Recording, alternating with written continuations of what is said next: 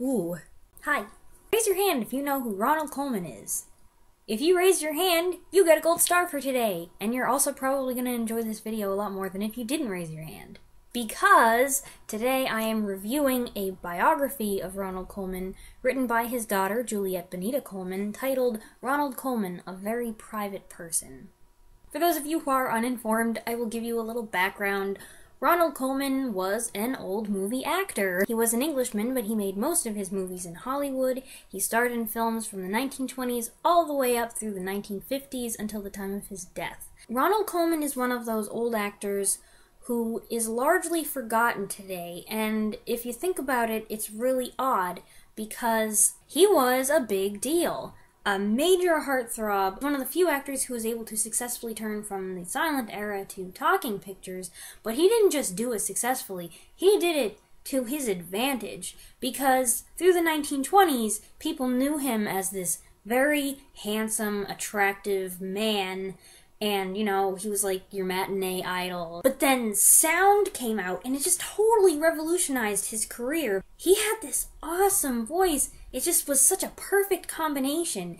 The looks which you know yeah i find him extremely attractive. And then the voice which is just like melty and warm and cozy. And as he became a bigger star and mgm realized he was like their hottest ticket they gave him really good roles. And he was always playing someone who was noble and gentlemanly. That combination of looks and voice and projected personality, uh, it just made him so appealing. And I know that that's the reason why I fall in love with him in every movie. Yeah. uh, weird.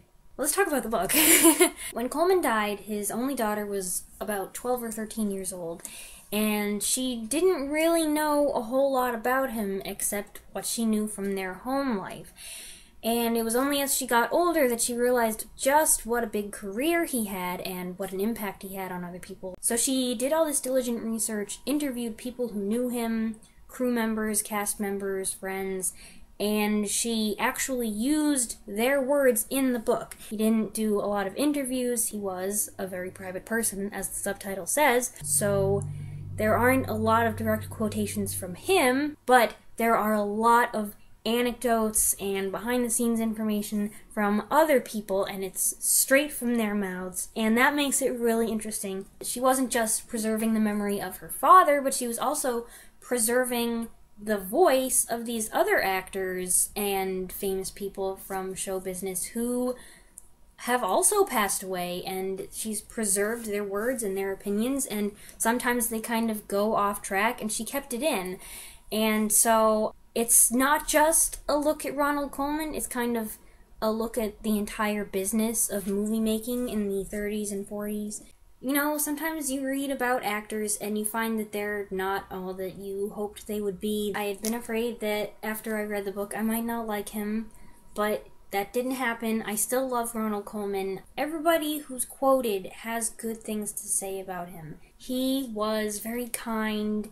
Um, I especially like the stories from his leading ladies who were all terrified to work with him. They'd just go in there and be like, I can't, I can't communicate, I can't act at all and he would see how uncomfortable they were and he would go and talk with them and get them to relax and get them to realize that he was a real person he wasn't just like this untouchable idol of the screen who's like oh you can't do anything with him. But he never of course crossed the boundary of propriety because he was a gentleman. He was so confident and professional on the set and he always knew his lines and everything. He was a very smart man. He had a book collection, so that's obviously a plus with me. He was very talented. He dabbled in all different kinds of art. He was very capable when the times changed, he was able to change with them, such as when the silent era became the sound era,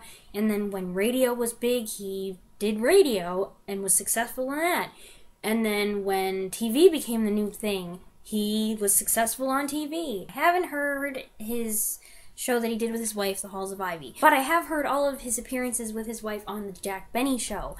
which are so funny and made me realize like Ronald Colman was a really funny guy. Like he could really do comedy. So I really enjoyed this book. I really appreciated the insight it gave into his background and how he got into acting and what kind of person he was. I thought it was very well written and engaging. It does have pictures in the middle, and it's not a ton of pictures. It's a combination of film stills and photographs of him and his wife and the baby and pictures with friends.